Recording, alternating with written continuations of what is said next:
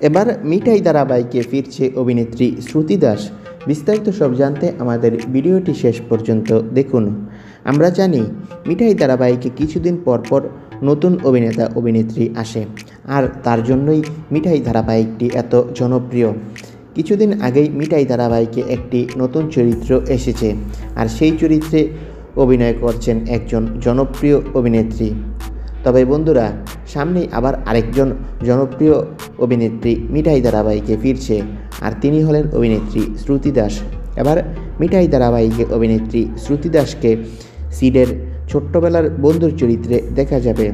তারপর সিরিয়ালে কিছুদিন তাকে দেখা যাবে। বন্ধুরা, তাকে আপনারা সিরিয়ালে দশ থেকে পনেরোটি পর্বের জন্য দেখতে পারবেন।